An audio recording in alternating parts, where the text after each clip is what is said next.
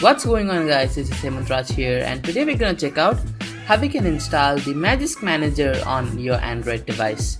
With that being said, if you end up liking this video, drop a like and make sure you subscribe to the channel and let's get right into the video.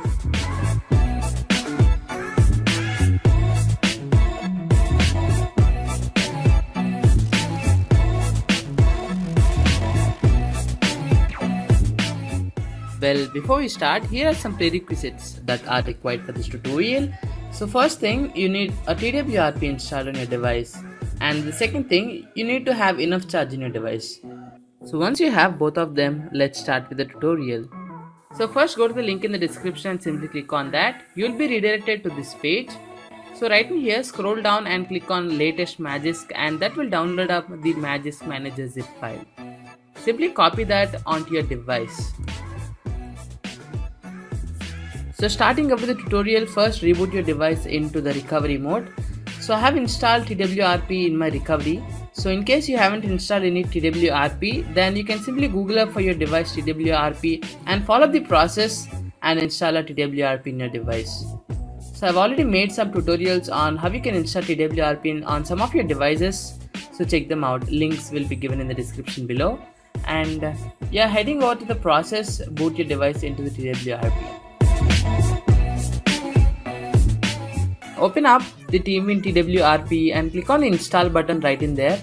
So search for the zip file which you have downloaded and placed it in your device. So here is the Magisk Manager zip file. Simply click on that and swipe to confirm flash. Now the Magisk Manager will be flashed onto your device.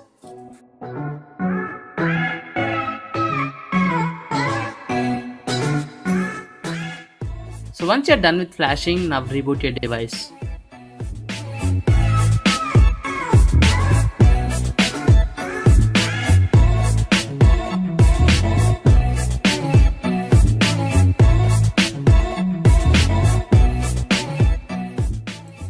So here is the Magisk Manager successfully installed on your device.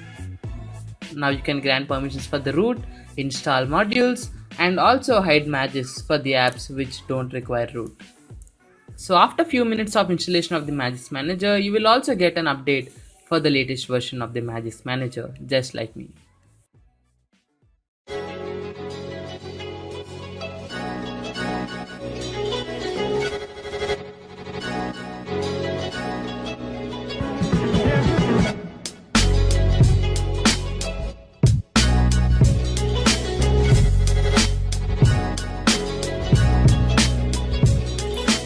Well, that's pretty much it for this video guys. If you enjoyed this, drop a like and make sure you subscribe to the channel. And I'll catch you guys next time. Till then, peace out.